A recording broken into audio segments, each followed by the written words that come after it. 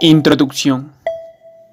La calidad del huevo es un factor fundamental en la aceptación o rechazo por parte del consumidor. Está relacionada con varias características externas e internas. Algunas son medias subjetivas y otras cuantitativas. Los aspectos externos de los huevos incluyen peso, forma, color, grosor de cáscara, peso de cáscara, densidad de cáscara, textura, entre otros. El peso, forma y color son factores que influyen en la clasificación, precio y preferencia del consumidor. La calidad de la cáscara es uno de los factores más importantes por su impacto a nivel económico. Además, el estudio de la calidad del huevo abierto nos permite medir otra serie de parámetros de interés para determinar su calidad como son el color de la yema, que determina la aceptación organoléptica de los huevos, el valor de pH de la clara, la presencia de manchas de carne o sangre en la clara y el espesor de la cáscara. Clasificación comercial del huevo. La clasificación comercial de los huevos se hace en base a dos parámetros, el aspecto interno del huevo visto al loboscopio y el peso. El aspecto interno del huevo visto al loboscopio para conseguir la uniformidad de la calidad que favorezca la comercialización del producto, se fijan las siguientes categorías que deben representar las características descritas en el siguiente cuadro. Categoría A, huevos frescos. Categoría B, incluye los huevos conservados e industriales. De tal manera que las partes a calificar es cáscara y cutícula, cámara de aire, clara de huevo, yema de huevo, germen, olor y sabor. Los huevos que se compran en los establecimientos de alimentación son huevos frescos o huevos de categoría A. La fecha de consumo preferentemente se establece en los 28 días tras la puesta. Los huevos de categoría B son huevos conservados y huevos destinados a la industria alimentaria. Los huevos de categoría A que dejan de cumplir las características de esta categoría pasan a la categoría B. Clasificación de acuerdo al peso. De acuerdo con el reglamento 1511, se establece cuatro categorías para la comercialización de huevos de categoría A. De acuerdo a esto se tienen clases de huevos super grandes que están en un rango de 73 gramos o más, grandes que están en un rango de 63 gramos a 73 gramos, medianos de 53 a 63 gramos y pequeños menos de 53 gramos. Índice morfológico. Los huevos de gallina doméstica exhiben una forma elíptica típica. Su forma es de especial interés para facilitar el envasado y transporte de los huevos. Los huevos muy largos están especialmente expuestos a daños mecánicos, mientras que los huevos esferoidales y muy gruesos ofrecen dificultad para ser introducidos en los envases preformados. La forma del huevo se expresa calculando el índice morfológico, el cual es igual a índice morfológico igual anchura sobre longitud por 100. Los huevos de gallina miden por término medio 4,2 centímetros de ancho y 5,7 centímetros de longitud, por lo que corresponde un índice morfológico de 74.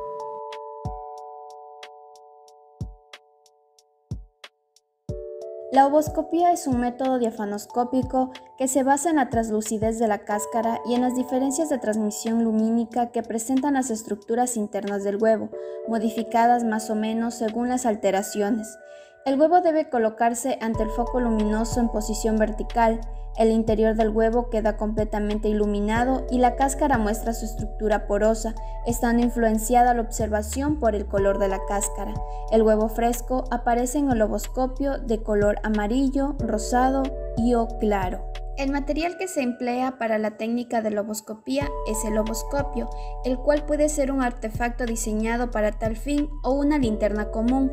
Se usan también loboscopios con fuentes luminosas múltiples que hacen que el procedimiento sea muy rápido, pero presentan la desventaja de que no identifican los huevos que se han colocado invertidos, es decir, los que se encuentran polo agudo hacia arriba, parámetro que es muy importante considerar pues afecta directamente el porcentaje de nacimiento final. El procedimiento que se lleva a cabo en la técnica de ovoscopía resulta ser muy fácil. Para hacer esto se debe tomar el huevo con la mano derecha, llevarla al dispositivo, el ovoscopio, y luego el huevo debe rotarse a lo largo del eje longitudinal. Si se lo hace correctamente y si se siguen las instrucciones, se puede ver las deficiencias de la incubación. Técnica de la luz ultravioleta. Fundamento. La cutícula es una membrana externa compuesta por dos capas de fibra proteína polisacárido que se encuentra sólidamente adherida a la cáscara y que actúa taponando los poros de la cáscara, impidiendo la entrada de gases y microorganismos al interior del huevo. La cutícula se encuentra compuesta por la proteína denominada porfirina u ovoporfirina, que se caracteriza por presentar fluorescencia bajo la luz UV, dando un color que varía desde violeta intenso a rojizo dependiendo del color de la cáscara. Los materiales usados para aplicar esta técnica son lámpara de luz ultravioleta, cámara oscura y placas Petri. El procedimiento consiste en colocar el huevo debajo de la luz ultravioleta y observar el color de la cutícula en distintas zonas, buscando las zonas despigmentadas. Esta observación puede interpretarse debido a lo siguiente, ya que el tiempo, la luz, el calor y el lavado destruyen la ovoporfirina, por lo que la intensidad del color ante la luz UV disminuye, pasando a violeta claro o azul pálido, llegando incluso a desaparecer observando el huevo blanquecino sin inflorescencia. Morfología y características organolépticas. Una vez abierto el huevo fresco sobre una superficie plana, la yema adopta una forma esferoidal, distinguiéndose muy bien en la clara la fracción densa que queda a mayor altura que la clara fluida. El olor del huevo fresco es suave y soso, y debe estar exento de olores desagradables y extraños. Se percibe el típico olor a viejo como consecuencia de los procesos enzimáticos que sufre el huevo. Incluso puede presentar olores desagradables como húmedo, mohoso y pútrido. Si el huevo no es fresco y se mantiene íntegra la membrana de la yema, esta se extiende sobre la superficie en capa de escasa altura, perdiendo la forma esferoidal y presentando una forma aplastada. Además, la membrana de la yema puede tener finas arrugas y la separación de la clara y la yema resulta imposible, o bien se logra tan solo parcialmente y con dificultad. La clara presenta escasa altura como consecuencia de la fluidificación de la clara densa, su color es más amarillo, pudiendo aparecer enturbiada o teñida de rojo amarillento. Color de la yema. Este es un atributo de calidad. El color de la yema es debido en un 70% a las antófilas y en un 2% a los carótenos. El resto corresponde a otros pigmentos. Los carótenos y la vitamina A que aparecen en algunos piensos en gran cantidad dan una yema pálida, mientras que las antófilas dan yemas muy subidas de color. Las yemas pálidas, por llevar gran cantidad de carótenos y vitamina A, son de gran importancia bromatológica, pues son más nutritivas que las de color subido. Las yemas pálidas suelen aparecer en los huevos procedentes de la avicultura industrial. Este color de la yema se compara con un patrón de color denominado el abanico de Roche. El índice de la yema. El índice de la yema es un parámetro que informa sobre la forma ideal de la yema y su relación con la frescura y calidad del huevo. Cuanto mayor sea el valor de este índice, mayor es la frescura del huevo, ya que la yema presenta una forma más compacta. El índice de la yema se calcula o determina de acuerdo a la siguiente fórmula, que es E igual índice de la yema igual a altura dividido para diámetro. Y cuando se obtienen índices mayores a 0,42 es porque la altura de la yema se ha descendido, debido a que la membrana vitelina adquiere mayor elasticidad y además va perdiendo agua. Determinación del pH. Los procesos de envejecimiento que se producen en el huevo se inician tras la puesta y dan lugar a la liberación de anhídrido carbónico desde el interior del huevo, tendiendo a equilibrar su concentración con la tensión parcial de este gas en el aire circundante, con el consiguiente aumento del pH.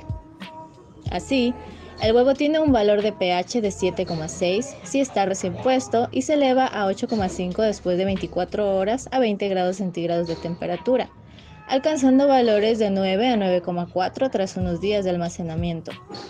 Tales modificaciones se aceleran notablemente al aumentar la temperatura del ambiente. Por otro lado, la alcalinización del huevo supone un envejecimiento del mismo, aunque este fenómeno también puede ser debido a la conservación del huevo en agua de cal. Para la determinación del pH en el huevo se debe realizar el siguiente procedimiento. Es necesario obtener papel indicador para la medición de pH o pHímetro. Posteriormente se debe cortar dos trozos de papel indicador e introducir uno en la yema y otro en la clara. A continuación, hay que sacudir el líquido sobrante, esperar medio minuto y comparar el color con la escala de patrón. En un huevo fresco o del día, el pH de la yema es de 6 y el de la clara varía de 7,6, aumentando hasta valores de 9,4 de acuerdo al tiempo transcurrido desde el almacenamiento. Unidades de Howe. De todas las técnicas de medida de la calidad interior del huevo abierto, las unidades de Howe representan una unidad de medida objetiva y precisa y su valor para cada huevo está en función del peso total del huevo y de la altura de la clara densa. Este método fue propuesto en 1937 por Raymond Howe. El medidor de la calidad de la albúmina. Para nosotros poder realizar esta medida vamos a emplear el método de Howe. Con el uso de un micrómetro vamos a tener dos finalidades, medir la calidad del albúmen del huevo y determinar la calidad del recubrimiento de la albúmina del huevo se va a considerar lo que son las unidades de Howe. Las mismas vienen dadas para cada huevo, como se puede observar en la siguiente fórmula, donde A va a ser altura de la clara densa y P el peso del huevo en gramos. Hay que tener en cuenta que al realizar la medición de Howe es un punto importante el, el tiempo, debido a que las unidades de Howe suelen declinar linealmente con el logaritmo del tiempo transcurrido después de haber abierto el huevo. También se ven afectadas por la temperatura debido a que la temperatura del huevo interno debe ser de 7 a 15 grados centígrados. Cada 10 grados centígrados más de temperatura supone 1.15 unidades de Ham menos. Para efectuar esta práctica es importante considerar ciertos materiales micrómetro para medir la altura de la clara densa, la ménsula con el plato cristal superior y espejo inferior, la balanza y el calculador de unidades de Howe. Debemos asegurarnos, como antes mencionaba, la temperatura que debe estar comprendida entre 7 y 15 grados centígrados. Debemos pesar el huevo en un plato y anotar su peso. Una vez pesado debemos romper el huevo cuidadosamente sin lesionar la clara densa del saco albuminoso, vaciarlo lo más cerca posible de la superficie de la ménsula. El contenido del huevo debe ser vertido suavemente. A continuación debemos medir con el micrómetro lo que es la altura de la clara densa y para ello se va a seleccionar el punto de medida de la superficie más extensa, es recomendable obtener la medida de dos lecturas del huevo, evitando tomar la medida en áreas donde existen chalazas o burbujas de aire. Una vez tomada la medida en milímetros y en decímetros, fijar el calculador del peso del huevo en la ventana inferior y la altura de la clara densa en la escala del disco móvil. Las unidades de Howe que obtendremos en la escala del disco externo corresponderán a los milímetros de la altura de la siguiente tabla. La calidad del huevo y su relación con las unidades de Howe. Siempre que se trate de estudios o trabajos de investigación referentes a las unidades de Howe, se debe utilizar una expresión numérica de calidad. La típica, la tipificación de los huevos debe estar integrada por tres factores: calidad interior, el tamaño y color de la cáscara. La calidad interior está definida fundamentalmente por la unidad de Howe. Sin embargo, ni la clasificación incluye la medida con un índice de calidad. Tenemos tres puntos importantes a considerar dentro de la descripción cualitativa. 50 unidades de Howe va a ser inaceptable, 65 va a ser marginal y cuando nos encontramos en un rango de 90 se va a determinar como excelente. La altura de la clara densa es uno de los métodos objetivos que se utiliza para la valoración de la calidad de la frescura del huevo. Sin embargo, la altura de la clara densa depende de ciertos factores, así el envejecimiento con la consiguiente Y la pérdida de agua muchas veces es a causa de la evaporación cuando existe mucha porosidad. También existen otros factores que suelen dar el valor al huevo. Puede darse porque la raza o genética de la gallina, la alimentación o la edad de las mismas, aunque nunca se alcanzarán valores de Hound que determinen el rechazo del huevo por parte del consumidor, que por lo general están menores a 60 unidades de Hound. También las condiciones de almacenamiento influyen en las unidades de Hound y el mantenimiento del mismo. El espesor de la cáscara. Es muy importante considerar ciertos parámetros. Los huevos con cáscara delgada y muy porosa están sujetos a una evaporación más intensa, suelen perder peso con mayor rapidez y en consecuencia son de calidad más baja que los que poseen una cáscara más gruesa y un poco porosa. Este carácter suele determinar la resistencia del huevo a la rotura y ciertos parámetros más. La cáscara se hace más frágil tras determinados procesos de almacenamiento y conservación, como por lo general la práctica que es el agua de cal cuando se realiza el baño de los huevos, que hace que la cáscara se vuelva más quebradiza rompiéndose cuando el huevo se somete a lo que es la cocción.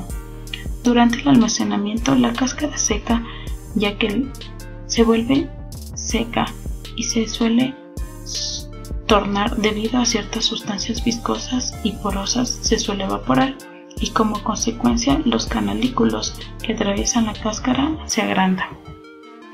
Aquí tenemos ciertos parámetros antes mencionados y que vale recalcar. Tenemos basado en el almacenamiento, la cáscara delgada y la cáscara gruesa. En la cáscara delgada siempre se va a denotar mayor porosidad, va a perder mayor peso y la calidad va a disminuir, por ende va a ser muy baja.